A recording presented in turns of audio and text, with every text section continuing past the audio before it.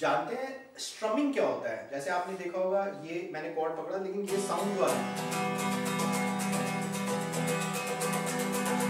इसको स्ट्रमिंग बोलते हैं। तो स्ट्रमिंग में जैसे ये पिक है आपके गिटार बजाने के लिए, आपने क्या करना है? जैसे ये डाउन स्ट्रम है, ये डाउन ये ऐसे ये डाउन डाउन और एक होता है अप स्ट्रम अप स्ट्रम मतलब नीचे से ऊपर।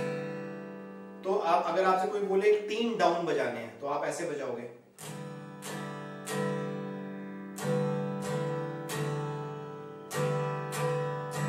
अगर आपसे कोई बोले कि एक डाउन और एक अप बजाना है तो आप ऐसे बजाओगे।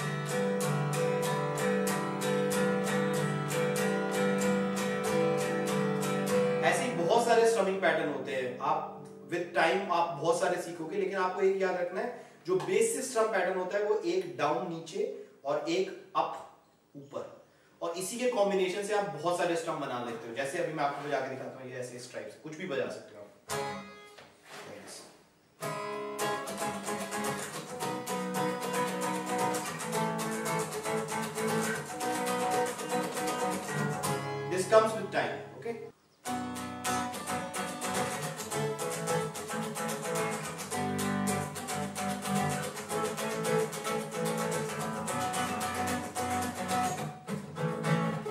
गिर गया फिर